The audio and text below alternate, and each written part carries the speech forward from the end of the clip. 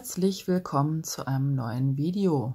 Heute geht es um eine Siegelschachtel, die ich äh, für eine liebe Freundin gebastelt habe.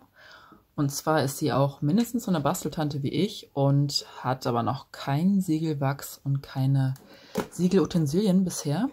Jedenfalls gehabt, weil ich habe diese Schachtel schon verschenkt und sie kam sehr gut an, wie ich gehört habe. Ich habe hier einfach eine kleine Versandschachtel genommen, die mir so in die Finger gefallen ist und habe sie über und über mit äh, distressten Buchseiten beklebt. Kleine Quotes rein, kleine Zahnräder und eine wunderschöne Faunfeder, die ich von einer anderen lieben Freundin bekommen habe.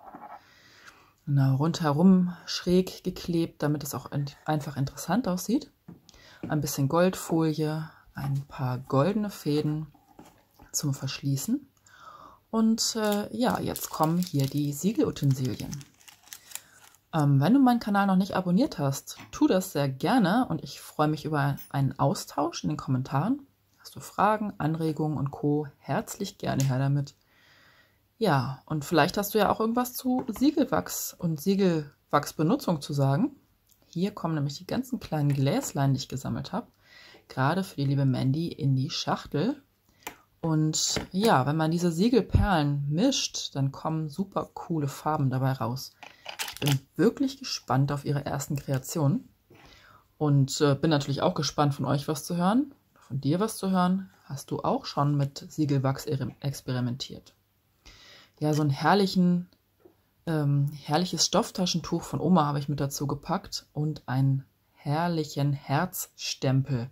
Passt meiner Meinung nach sehr zu der Beschenkten und ist natürlich ein kleiner Anfang, weil wenn man erst so mit Siegeln anfängt, dann hört man so schnell nicht wieder auf damit.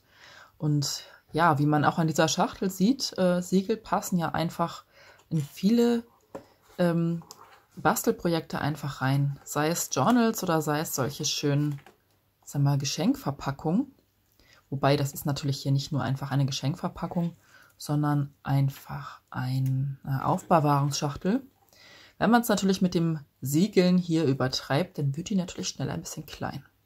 Gut, der Trend geht natürlich zur Zweitschachtel und ich denke mal, wenn man sowas in der Hand hat, ähm, dann wird man sich wahrscheinlich schnell überlegen, eine Mandy, ob man vielleicht auch mal sowas bastelt und auch ja in die ähm, Schachtelbastel-Ecke gerät. Ähm, die ist sehr schön. Und ich finde einfach auch mit der Aufbewahrung macht das Basteln gleich nochmal doppelt so viel Spaß. So, nun hoffe ich, du hattest auch viel Spaß mit diesem Video und bis bald.